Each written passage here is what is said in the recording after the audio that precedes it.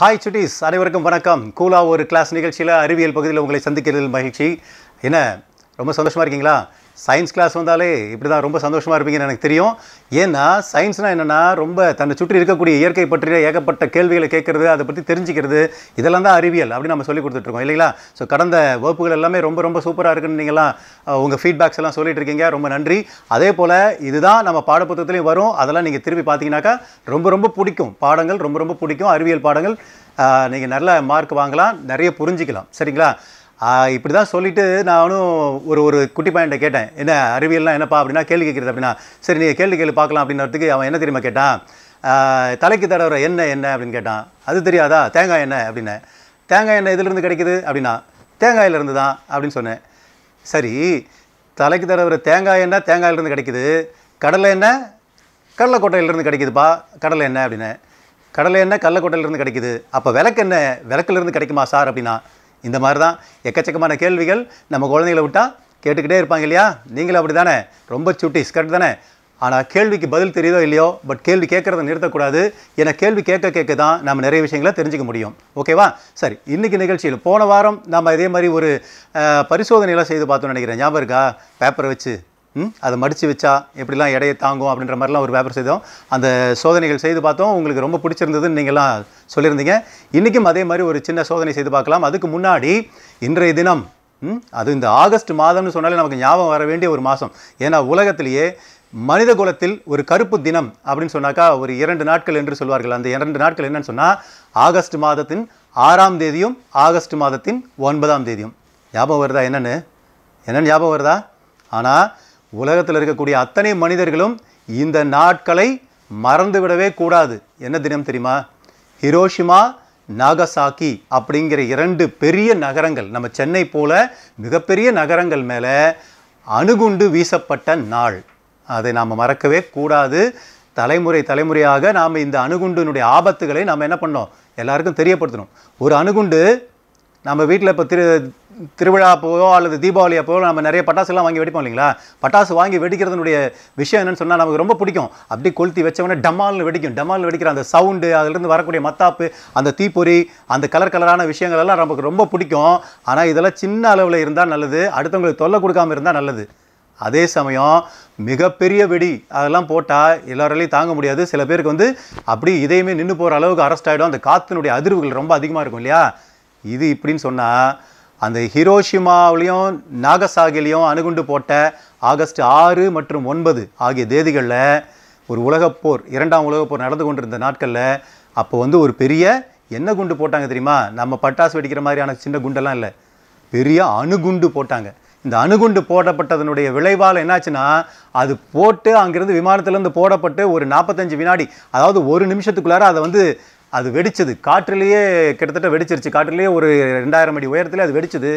அப்படி வெடிக்கும் போதே அந்த அதிர்வுகளாலேயும் அந்த வெடி வெடி அணுகுண்டு வெடித்ததுனால ஏற்பட்ட விளைவுகளாலேயும் ஒட்டுமொத்த அந்த நகரமே அழிஞ்சு போச்சு. யோசிச்சு பாருங்களேன். இப்போ நம்ம இருக்கிறது சேலம் மாவட்டம் இல்லையா?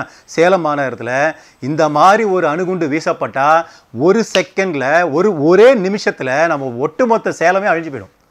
எவ்வளோ தெருக்கள் இருக்குது எவ்வளோ வீதிகள் இருக்குது எவ்வளோ நம்ம வீடுகள்லாம் கட்டி வச்சுருக்கோம். எல்லாமே இருக்கு இல்லையா? ஒரு இது கூட இருக்காது. அந்தளவுக்கு எல்லா தாவரங்களும் விலங்குகளும் பறவைகளும் மனிதர்களும் எதுவுமே சுவடு எந்த ஒரு விஷயங்களும் இல்லாமல் அழிஞ்சு போயிடுற அளவுக்கான ஒரு அணுகுண்டு தான் அன்றைக்கு வீசப்பட்டது. ஸோ இந்த தினத்தை நாம் எப்போவுமே நினச்சிக்கிட்டே இருக்கணும். ஆகஸ்ட் மாதம் ஆறு ஆகஸ்ட் மாதம் ஒன்பது.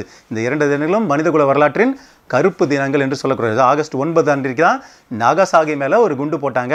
ப்ளூட்டோனியம் புளூட்டோனியம் வகையான குண்டு. அதன் மூலமாக எழுபதாயிரம் பேர் செத்தாங்க. ஹிரோஷிமாவில் போட்ட குண்டில் ஒரு லட்சத்தி நாற்பதாயிரம் பேர் டோட்டலாக பார்த்தீங்கன்னாக்கா இது வரைக்கும் ரெண்டு ல ரெண்டரை லட்சம் பேர் பக்கம் மேலே அந்த அணுகுண்டு வீச்சினால செத்துருப்பாங்க. அப்படிங்கிறதெல்லாம் சொல்கிறாங்க ரொம்ப மோசமான விளைவு இல்லையா? ஆனால் இந்த அணுவினுடைய சக்திக்குள்ளார நிறைய ஆக்கம் ஆக்கமாக ஆக்க வழிகளுக்கு அதை பயன்படுத்தலாம். எப்படின்னா இவ்வளோ பெரிய ஆற்றல் இருக்கக்கூடிய சக்தி அதை நம்ம வந்து மின்சாரமாக மாற்றணும்னு சொன்னால் ஒட்டுமொத்த நம்ம இந்தியாவுக்கே ஒரு ஒரு அணுகுண்டு தயாரிப்பில் செயல்படுத்தக்கூடிய அந்த காசுக்கு ஒட்டுமொத்த இந்தியாவில் இருக்கக்கூடிய அத்தனை குழந்தைகளுக்கும் இலவசமாக கல்வி கொடுக்க முடியும். தெரியுங்களா? ஒரு அணுகுண்டினுடைய உருவாக்கத்துக்கு செயல்பட்ட செ செலுத்தப்பட்ட தொகையில் ஒட்டுமொத்த இந்தியாவில் இருக்கக்கூடிய முப்பது நாற்பது குழந்தைங்க கோடி குழந்தைகளுக்குமே நம்ம இலவசமாக கல்வி கொடுக்க முடியும் அப்படின்றத நம்ம பார்க்க வேண்டியிருக்கு. ஸோ அதனால் அணுகுண்டு போன்ற விஷயங்களை ஆக்கத்திற்கு தான் அதாவது அறிவியல் கண்டுபிடிப்புகளை ஆக்கத்திற்கு தான் பயன்படுத்தணும். அழிவுக்கு பயன்படுத்தக்கூடாது அப்படிங்கிறது தான் நாம் எல்லாம் புரிஞ்சுக்கணும். அதுதான் சரியானதும் கூட. சரிதானே? இன்னைக்கு அந்த மாதிரி ஒரு விஷயம் எது? காற்று அப்படிங்கிறதா விஷயம். இப்போ பார்த்தீங்கன்னா காற்றை பற்றி நிறைய பாட்டெல்லாம் இருக்கும் இல்லையா? காற்று என் வாசல் வந்தாய் மெதுவாக கதவு திறந்தாய். இப்படிலாம் வந்து பாட்டெல்லாம் கேள்விப்பட்டிருப்பீங்க. காற்று வாங்க போனேன் புது கவிதை வாங்கி வந்தேன். இப்படிலாம் பாடிருப்பாங்க இல்லையா? ஸோ காற்று அது வந்து என்னெல்லாம் பண்ணுது அப்படின்னு வச்சு காற்றை வச்சு ஒரு சின்ன பரிசோதனை செஞ்சு பார்க்கலாம்னு நினைக்கிறேன். ஸோ இப்போ உங்கள் கையில் வந்து ஒரு சின்ன பேப்பர் எடுத்திருக்கேன் பார்த்தீங்களா காற்றுக்கு நம்ம சுவாசிக்கிறோம்ல அந்த காற்று. இந்த காற்றுக்கு எடை உண்டா? அப்படின்னா எடை. ம், காற்றுக்கு எடை உண்டா? அப்படின்னா எடை இருக்குது நிறை. நம்ம சொல்கிறோம் இல்லையா? அது வந்து உண்டு. காற்றுக்கு நிறை இருக்குது எவ்வளோ இருக்குது அதெல்லாம் தெரியாது நமக்கு. ஆனால் காற்று இங்கிருந்து எவ்வளோ உயரத்தில் இருக்குது தரையிலேருந்து பூமியினுடைய மேலடுக்கில் எவ்வளோ உயரம் இருக்குது கிட்டத்தட்ட ஆயிரம் கிலோமீட்டர் உயரம் வரைக்கும் வளிமண்டலம்னு சொல்கிறோம் இல்லைங்களா? அது வரைக்கும் காற்று இருக்குதுன்னு வச்சுக்கிட்டா கூட இவ்வளோ பெரிய காற்றினுடைய கடல் பெரிய சமுத்திரத்துக்கு அடியில் தான் நாம் நின்றுட்டுருக்கோம் ஓகே அப்போ காற்று நம்மளை பிடிச்சி அழுத்துது. இதுதான் காற்றின் அழுத்தம் அப்படின்னு நம்ம சொல்லுவோம். இப்போ இந்த காற்றில் தான் நாம் என்ன பண்ணிட்டு இருக்கோம் தரையில் அதனுடைய அடியில் நாம் தரையில் இப்படி நடந்து போயிட்டுருக்கோம் வந்துட்டுருக்கோம். ஓகேவா இந்த காற்றுல நீந்தக்கூடிய வேலையை தான் பறவைகள் செய்யுது ம்? கரெக்டாக சரி இப்போ நான் என்ன பண்ணுறேன்னா இந்த காற்றுக்கு என்ன மாதிரியான குணங்கள் இருக்குன்னு சொல்லிட்டு ஒரு சின்ன பரிசோதனை செஞ்சு பார்க்கலாம். வீட்டில் பாருங்கள் ஒரே ஒரு பேப்பர் தான். இந்த பேப்பர் வச்சுட்டு நீங்கள் எவ்வளோ பரிசோதனைகளை செய்து பார்க்க முடியும். அந்த மாதிரி இந்த காற்றில் இருக்கக்கூடிய ஒரு சில பண்புகளை இந்த பேப்பர் வச்சு நான் செஞ்சுக்கலாம் இப்போ பாருங்கள் இந்த இந்த பேப்பரை நான் இப்படி வச்சுக்கிறேன். இந்த பேப்பர் இப்படி வச்சுக்கிறேன். இது என் வாய்க்கு பக்கத்தில் வச்சு நான் ஊதுறேன். வாய்க்கு பக்கத்தில் வச்சு நான் ஊதுறேன். இதனால் என்ன ஆகும்? நான் இங்கே வாயில் இப்படி பக்கத்தில் வச்சுட்டு நான் இப்படி ஊதுனா இந்த பேப்பருக்கு என்ன ஆகும்? ஒன்றாகாது தானே? ஏன்னா பேப்பர் எங்கே இருக்குது கீழே தொங்கிட்டு இருக்குது ஏதாவது ஆகுதான்னு பார்க்கலாமா? பார்ப்போமா? இப்போ பாருங்கள்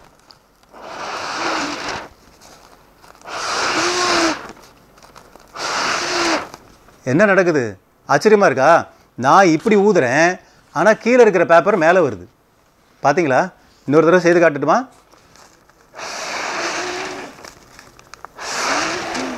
பார்த்தீங்களா கீழே தொங்கிட்டு இருக்கக்கூடிய காற்று ஏன் மேலே வரணும்? இது ஒரு கேள்வி. அடுத்ததாக இப்போ பாருங்களேன் இந்த பேப்பரை நான் ரெண்டாக கிழிக்கிறேன். சரி மடித்து கூட கிழிக்கலாம். ஒன்றும் பிரச்சனை இல்லை. இப்படி நான் மலித்து கிழிக்கிறேன். இந்த பேப்பரை இப்படி கிழிச்சிட்டு இந்த ரெண்டு பேப்பரையும் இப்போ என்ன பண்ண போகிறேன் பாருங்கள் நமக்கு தான் பேப்பர் நல்லா கிழிக்க தெரியும்ல. ஸோ பேப்பரை மடித்து கிழிச்சிட்டேன். இப்போ என்ன பண்ணுறேன்னா இந்த ரெண்டு பேப்பருக்கு இடையில் இப்படி தொங்க விட்டுட்டேன். ஓகே இந்த ரெண்டு பேப்பருக்கு இடையில் நான் என்னுடைய முகத்தை வச்சு ஊதுறேன். இப்படி கீழே ஊதுனா இந்த ரெண்டு பேப்பர் என்ன ஆகும்? என்ன ஆகும்? இந்த பேப்பர் ரெண்டு பேரும் இப்படி விலகி ஓடிடும் அப்படி தான் நினைப்போம்.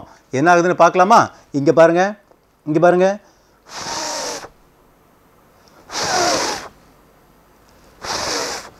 என்ன நடக்குது இங்கே நான் இரண்டு பேப்பருக்கு நடுவில் தலையை வச்சு காற்றை ஊதுறேன். ஊதும்போது இந்த ரெண்டு பேப்பரும் இப்படி விலகி ஓடுறதுக்கு பதிலாக என்ன செய்யுது கிட்ட வந்து ஒட்டிக்குது. எப்படி இது? இங்கே பாருங்க.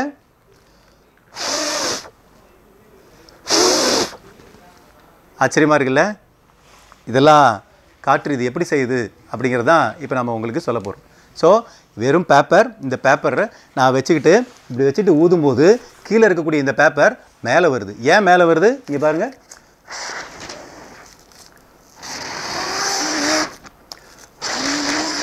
மேலே வருது இல்லையா? ஏன் மேலே வருது? இந்த மாதிரியான பிரின்சிபல்ஸ் இதுக்கு பேர் தான் பெர்னோலி தத்துவம்னு பேர். இந்த தத்துவத்தின் அடிப்படையில் தான் ஏரோப்ளேன்லாம் இயங்குது. இப்போ கூட சமீபத்தில் கள்ளிக்கட்டில் வந்து ஒரு ஏரோப்ளேன் வேறு கீழே விழுந்துருச்சு இல்லையா? இறங்குற நேரத்தில். கொஞ்சம் பேர் இறந்து போயிட்டாங்க. ஸோ இந்த மாதிரியான தத்துவத்தில் தான் ஏராளமான ஏரோப்ளேன்ஸ் எல்லாம் இறங்குது. வெறும் பேப்பர் வச்சுக்கிட்டு இந்த காற்றுக்கு அந்த மாதிரி. இதில் ஒன்றும் இல்லை. நான் இப்படி வாயில் வச்சுட்டு இங்கே ஊதுனேன் இல்லையா? இப்போ நீங்கள் ஊதும் போது என்ன ஆகுதுன்னா இப்போ எல்லா இடத்துலையும் காற்று இருக்குது நான் இருக்கும்போது இந்த பேப்பருக்கு இங்கேயும் காற்று இருக்குது இங்கேயும் காற்று இருக்குது இங்கேயும் காற்று இருக்குது எல்லா இடத்துலையும் காற்று இருக்குது நான் இப்போ வாயை வச்சு ஊதும் போது என்ன நடக்குதுன்னா இங்கே முன்னாடி இருக்கக்கூடிய காற்றை நான் ஊதி தள்ளிடுறேன். இங்கே இருக்கிற காற்றை நான் என்ன பண்ணுறேன் ஊதி தள்ளிடுறேன். அப்படி ஊதி தள்ளும்போது இந்த இடத்துல காற்று முன்னாடி இருந்துச்சு இப்போ காற்று இல்லை. வெற்றிடம் ஆயிடுச்சு அப்போ காற்றினுடைய அழுத்தம் குறையும் போது இதை நோக்கி காற்று என்ன பண்ணுது? அந்த இடத்த நோக்கி பாஞ்சு வருது. அப்படி அந்த இந்த இடத்துல நான் வாய் வச்சு காற்றை ஊதி தள்ளின பிறகு இந்த இடத்துல காற்று இல்லாமல் இருக்குது அதை நிரப்புறதுக்காக காற்று என்ன பண்ணுது? எல்லா பக்கமும் இருந்து வரும்போது அதுக்கு கீழே இருக்கிற காற்றும் இப்படி மேலே எந்திரி வர்றது தான் நம்ம பார்க்குறோம். ஓகே